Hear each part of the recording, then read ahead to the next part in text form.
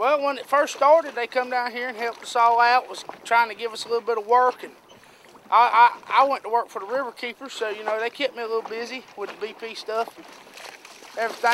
But now since it's all BP's pulled out of town, everything's sort of they're trying to more or less forget about it since times went on. Why so when? BP come in here, they uh they throwed a panic, a widespread panic into everybody. I mean, they was they was telling people who come in to make claims, you know, you need to go out there and make just as much money as you can and catch as many oysters as you can, you know, because you never know when this is going to take your whole bay out. And their biggest thing about that was is they was telling people that, so the more money they made, the less they had to pay them. And then they put a lot, you know, they put that fear in everybody, telling them to come out here and catch up everything, or their bay was going to die because of this oil. So a lot of people come out here and caught everything.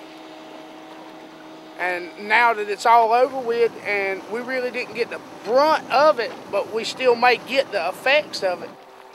And we're still out here oystering trying to make it, but everybody's done caught mostly everything up, and we're having to try to, you know, walk around these seeds that we got to pick out the big ones. That's two legal ones. All the rest of that's just undersized oysters. Babies. So everything's still a little hectic.